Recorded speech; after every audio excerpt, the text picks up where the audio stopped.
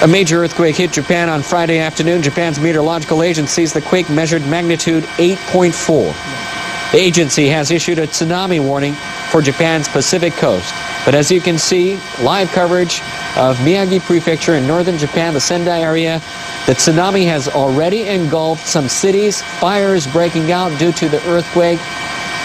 In northeastern Japan's Iwate Prefecture, tsunami waves of over 4 meters were observed soon after the quake. The agency is warning that tsunami could reach between 6 and 10 meters. Tsunamis come in several waves.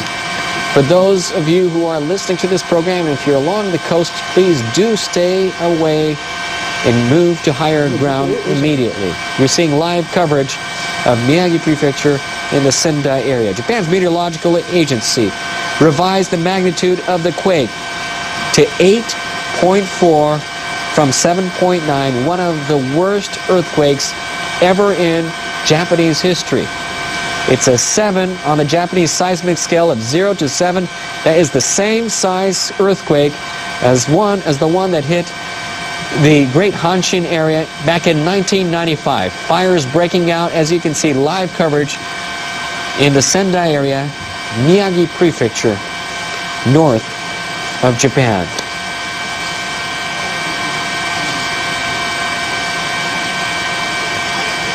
For those of you who have just tuned in to NHK World, a major earthquake hit Japan Friday afternoon about an hour ago, hour and 10 minutes ago. Japan's meteorological agency says the quake measured magnitude 8.4. It has revised it upwards to 8.4. The agency has issued a tsunami warning for Japan's Pacific coast. In northeastern Japan's Iwate Prefecture, tsunami waves of over 4 meters were observed soon after the quake. The agency is warning that the tsunami could reach between 6 and 10 meters.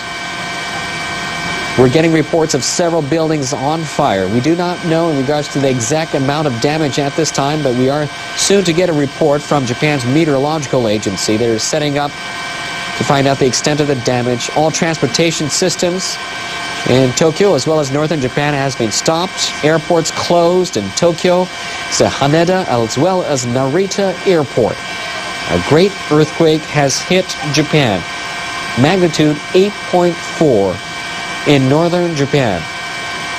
Agency has been warning a tsunami uh, ever since the quake, and it uh, tsunami has hit the Miyagi Sendai area as our live helicopter camera crew are up covering and showing you exactly what is going on at this time. Deputy Chief Cabinet Secretary Tetsuro Fukuyama told reporters on Friday that the governor of Miyagi Prefecture, where the earthquake has hit hardest, has asked the government to send self-defense force units to deal with the situation and aid the situation. Defense Ministry officials say self-defense force personnel are currently contacting local governments and related agency to assess the extent of the damage.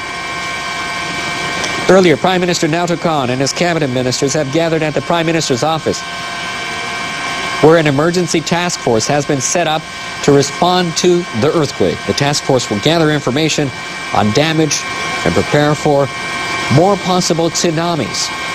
Japan's Foreign Minister Takeaki Matsumoto has ordered his officials to start preparing to accept foreign assistance. He has also told them to check on the safety of foreigners living here in Japan. The Pacific Tsunami Warning Center has issued a tsunami warning not just for Japan, but also for Russia, Marcus Island, the Northern Marianas, Guam, Wake Island, and Taiwan.